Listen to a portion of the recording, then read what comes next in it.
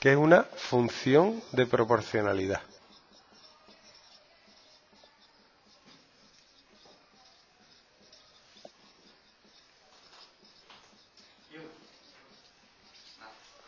Una función de proporcionalidad es una función de la forma igual a m por x, que te permite calcular, por ejemplo, lo que tienes que pagar cuando vas al cine, ¿vale?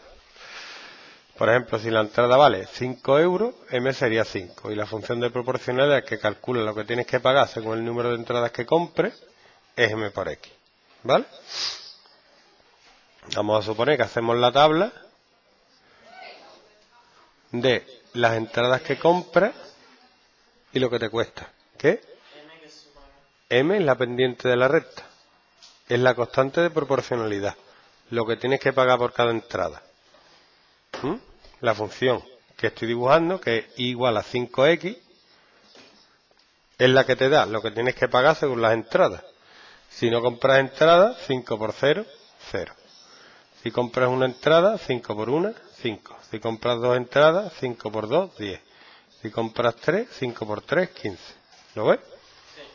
Y si la dibujas, te sale una recta.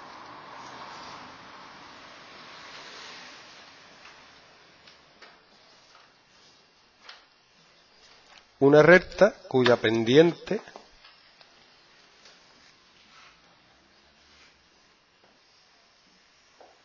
es 5. ¿Mm? ¿Ok? La pendiente es M.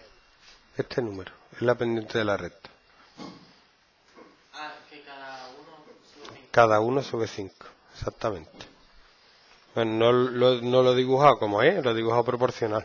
Pero la pendiente, si esto fuera igual, sería mucho más grande. ¿Mm? Cada uno sube 5. Entonces aquí te pone, su ecuación es igual a m por x. Su gráfica es una recta que pasa por todas las funciones de proporcionalidad, pasan por el 0, 0. Siempre. Siempre, siempre. ¿Vale? Siempre en función- Pero aquí hay algunas pruebas que no han puesto cero. No, no. Las de proporcionalidad sí. Ahora vamos a ver otras que no. Que son otras funciones lineales. Pero las funciones de proporcionalidad siempre pasan por 0, 0.